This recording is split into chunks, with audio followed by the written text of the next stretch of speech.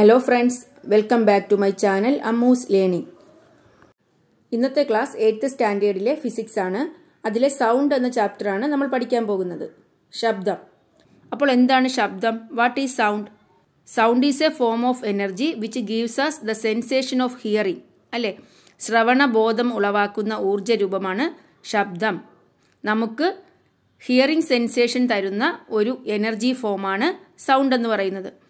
അത് നമുക്ക് അനുഭവപ്പെടണമെങ്കിൽ മൂന്ന് കമ്പോണൻസ് ആവശ്യമാണ്.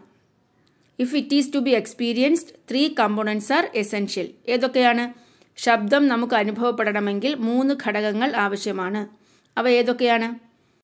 ശബ്ദം പുറപ്പെടുവിക്കുന്ന സോഴ്സ് ഓഫ് സൗണ്ട് അല്ലെ ശബ്ദ സ്രോതസ്. അതുപോലെ മീഡിയം മാധ്യമം ശബ്ദം കടന്നു പോകുന്ന ഒരു മാധ്യമം ആവശ്യമാണ്. മീഡിയം അതുപോലെ ഹിയറിംഗ് ഓർഗൻ അത് നമുക്ക് അനുഭവപ്പെടണമെങ്കിൽ ശ്രവണേന്ദ്രിയം ആവശ്യമാണ്. അല്ലെ? ഹിയറിംഗ് ഓർഗൻ അപ്പോൾ സൗണ്ട് ഉണ്ടാകണമെങ്കിൽ സൗണ്ട് നമുക്ക് എക്സ്പീരിയൻസ് ചെയ്യണമെങ്കിൽ ഒരു സോഴ്സ് ഓഫ് സൗണ്ട് ദാ പിക്ചർ നോക്കൂ. ആ റേഡിയോയിൽ നിന്നും പാട്ട് കേൾക്കുന്നു. അവിടെ സോഴ്സ് ഓഫ് സൗണ്ട് ഏതാണ്? റേഡിയോ മീഡിയം മാധ്യമം ഏതാണ്? വായുവാണ്. വായുവിൽ കൂടിയാണ് ശബ്ദം ശ്രവണേന്ദ്രിയമായ ഇയറിലെത്തുന്നത് മനസ്സിലായോ? അതുപോലെ ഹിയറിംഗ് ഓർഗൻ ശ്രവണേന്ദ്രിയം ഏതാണ്? ചെവിയാണ്. അപ്പോൾ മൂന്ന് കമ്പോണൻസ് മനസ്സിലായല്ലോ? ഇനി ഒന്നാമത്തേത് സോഴ്സ് ഓഫ് സൗണ്ട് അല്ലേ? അതിനെക്കുറിച്ച് പഠിക്കാം. ഇതാ നോക്കൂ. Certain situations and instruments that produce sound are given in figure observe the figure and write them down sound ഉണ്ടാക്കുന്ന ചില ഇൻസ്ട്രുമെന്റ്സും അതുപോലെ ചില സിറ്റുവേഷൻസും തന്നിട്ടുണ്ട്. ഏതൊക്കെയാണവ ഒന്നാമത്തെ ഫിഗർ ചെണ്ടയാണ്. രണ്ടാമത്തേതോ വയലിൻ. മൂന്നാമത്തെ സിറ്റുവേഷൻ ഏതാണ്? തണ്ടർ ആൻഡ് ലൈറ്റ്നിങ് അല്ലേ? ഇടിയും മിന്നലും. അപ്പോഴുണ്ടാകുന്ന ശബ്ദം. മൂന്നാമത്തേത് വാട്ടർഫോൾസ് അല്ലെ? വെള്ളച്ചാട്ടം. അപ്പോൾ വെള്ളച്ചാട്ടത്തിൽ നിന്നുണ്ടാകുന്ന ശബ്ദം. ഇവയെ നമുക്ക് മാൻമെയ്ഡ് സോഴ്സ് ഓഫ് സൗണ്ട് എന്നും നാച്ചുറൽ സോഴ്സ് ഓഫ് സൗണ്ട് എന്നും ക്ലാസിഫൈ ചെയ്യാം. അല്ലേ? മനുഷ്യനിർമ്മിത ശബ്ദ സ്രോതസ്സുകൾ അതുപോലെ പ്രകൃതിയാലുള്ള ശബ്ദ സ്രോതസ്സുകൾ മാൻമെയ്ഡ് സോഴ്സ് ഓഫ് സൗണ്ട് ഏതൊക്കെയാണ്? ചെണ്ട വയലിൻ അല്ലാതെ വേറെ എന്തൊക്കെ എഴുതാം? ഫ്ലൂട്ട് ഹാർമോണിയം ചെണ്ടയിൽ നിന്നും വയലിൻ അതുപോലെ ഫ്ലൂട്ട് ഹാർമോണിയം. ഇവയിൽ നിന്നുണ്ടാകുന്ന ശബ്ദമൊക്കെ മാൻമെയ്ഡ് സോഴ്സസ് ഓഫ് സൗണ്ട് മനുഷ്യനിർമ്മിത ശബ്ദ സ്രോതസ്സുകളാണ് എന്നാൽ പ്രകൃതിയാലുള്ള ശബ്ദ സ്രോതസ് ഏതൊക്കെയാണ്? വോക്കൽ കോഡ് അല്ലേ? സ്വനപേടകം നമ്മുടെ വോക്കൽ കോഡിൽ നിന്നുണ്ടാകുന്ന ശബ്ദം. തണ്ടർ ഇടിവെട്ടുമ്പോൾ ഉണ്ടാകുന്ന ശബ്ദം. സൗണ്ട് ഓഫ് വാട്ടർഫോൾസ് വെള്ളച്ചാട്ടത്തിന്റെ ശബ്ദം. പിന്നെന്ത് പറയാം? സൗണ്ട് ഓഫ് സീ വേവ്സ് അല്ലേ? തിരമാലകളുടെ ശബ്ദം. ഇതൊക്കെ എന്താണ്? പ്രകൃതിയാലുള്ള ശബ്ദ സ്രോതസ്സുകളാണ് ഇനി പറയുന്ന ആക്ടിവിറ്റീസ് ചെയ്ത് അതിന്റെ ആൻസർ ചെയ്യാനാണ്. Tap the mouth of a glass or steel tumbler gently with a spoon you will hear a sound at the same time gently touch the edge of the glass with your finger what do you experience ഒരു glass ടംബ്ലറിന്റെയോ steel ടംബ്ലറിന്റെയോ വായ്ഭാഗത്ത് spoon കൊണ്ട് തട്ടുമ്പോൾ എന്ത് സംഭവിക്കും? ശബ്ദം ഉണ്ടാകും. അല്ലേ? ഈ സന്ദർഭത്തിൽ ഗ്ലാസിന്റെ വക്കിൽ വിരൽ കൊണ്ട് മൃദുവായി സ്പർശിക്കുക. അപ്പോൾ എന്താണ് അനുഭവപ്പെടുന്നത്? ദ ടംബ്ലർ വൈബ്രേറ്റ്സ് അല്ലേ? ആ ടംബ്ലർ എന്ത് ചെയ്യുന്നു? കമ്പനം ചെയ്യുന്നു. അതുപോലെ സൗണ്ട് ഈസ് ഹിയേഡ് അല്ലേ? സൗണ്ട് ഉണ്ടാകുന്നു. ഇനി അടുത്ത ആക്ടിവിറ്റി നോക്കൂ. Fill the tumbler with water and make the sound again by tapping with a spoon what do you observe why are the waves produced on the surface of the water എന്താണ്? ടംബ്ലറിൽ നിറയെ ജലം ഒഴിച്ച ശേഷം വീണ്ടും spoon കൊണ്ട് തട്ടി ശബ്ദം ഉണ്ടാക്കുക എന്തു നിരീക്ഷിക്കുന്നു? ജലോപരിതലത്തിൽ അലകൾ ഉണ്ടായത് എന്തുകൊണ്ടായിരിക്കും? അപ്പോൾ വീണ്ടും ടംബ്ലറിൽ നിറയെ ജലം ഒഴിച്ച ശേഷം സ്പൂൺ കൊണ്ട് തട്ടുമ്പോൾ എന്തുണ്ടാകുന്നു? ജലോപരിതലത്തിൽ അലകൾ ഉണ്ടാകുന്നു. അല്ലെ? Waves are produced on the surface of the water. എന്തുകൊണ്ടാണ് ഇങ്ങനെ അലകൾ ഉണ്ടായത്? Due to the vibration of tumbler. ആ ടംബ്ലറിന്റെ കമ്പനം കൊണ്ടാണ്. മനസ്സിലായല്ലോ? ഇനി നോക്കൂ.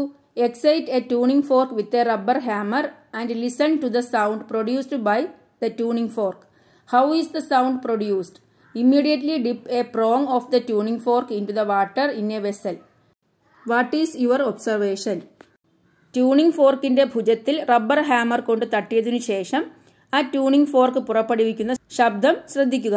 എങ്ങനെയാണ് ശബ്ദം ഉണ്ടായത്? ആ ട്യൂണിംഗ് ഫോർക്കിന്റെ ഭുജത്തിലുണ്ടായ കമ്പനം കൊണ്ട് അല്ലേ? Due to the vibration of the prong sound is produced അതുപോലെ ഈ ട്യൂണിംഗ് ഫോർക്കിന്റെ ഒരു ഭുജം പാത്രത്തിലെടുത്ത ജലത്തിൽ മുക്കുമ്പോൾ എന്താണ് നമുക്ക് കാണാൻ കഴിയുന്നത്? When the prong is dip in water waves are formed അല്ലേ? അലകൾ ഉണ്ടാകുന്നു. അപ്പോൾ ട്യൂണിംഗ് ഫോർക്കിൽ റബ്ബർ ഹാമർ കൊണ്ട് തട്ടുമ്പോൾ അതിന്റെ പ്രോങ് അല്ലെ? ഭുജത്തിൽ കമ്പനം വൈബ്രേഷൻ ഉണ്ടാകുന്നു. അത് ജലത്തിൽ വേവ്സ് ഫോം ചെയ്യാൻ കാരണമായി. അലകൾ ഉണ്ടാകാൻ കാരണമായി.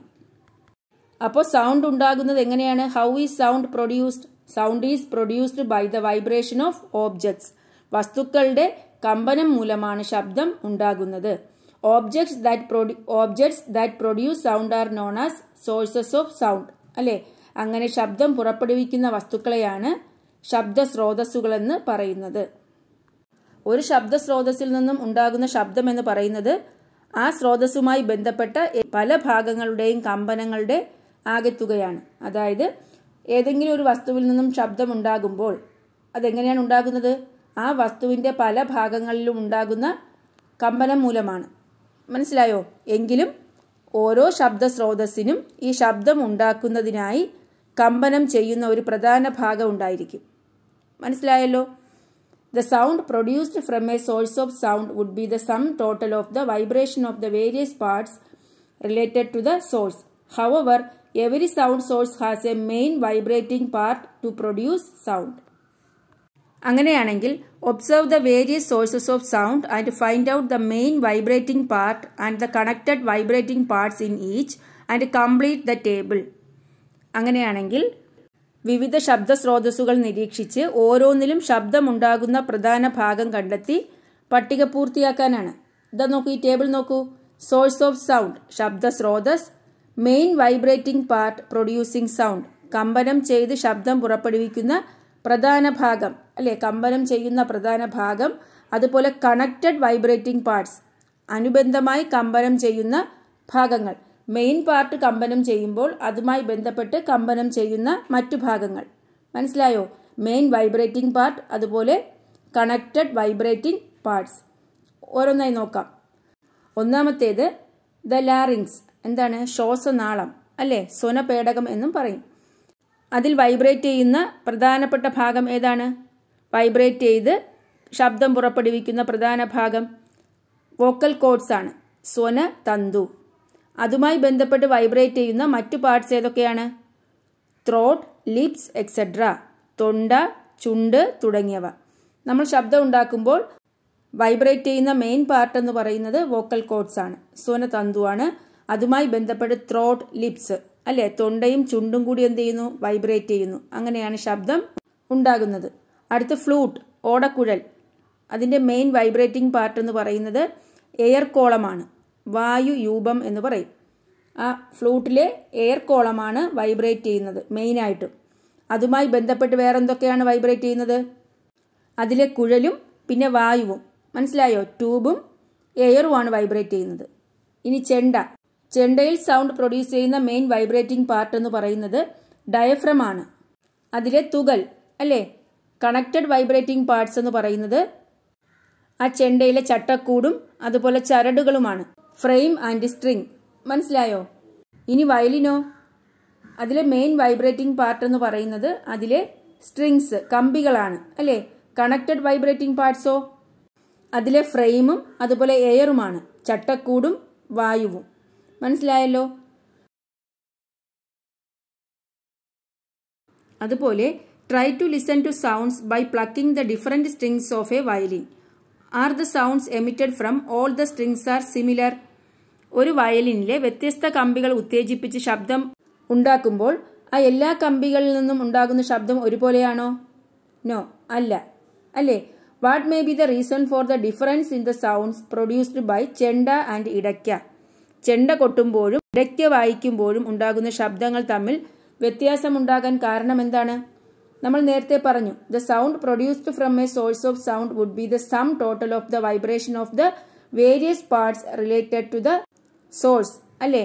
അതായത് ഒരു ശബ്ദ സ്രോതസ്സിൽ നിന്നും ശബ്ദം ഉണ്ടാകുമ്പോൾ അതിൽ ഉണ്ടാകുന്ന ശബ്ദം എന്ന് പറയുന്നത് ആ സ്രോതസ്സിലെ പല ഭാഗങ്ങൾ വൈബ്രേറ്റ് ചെയ്യുന്നതിൽ നിന്നാണ് അല്ലേ?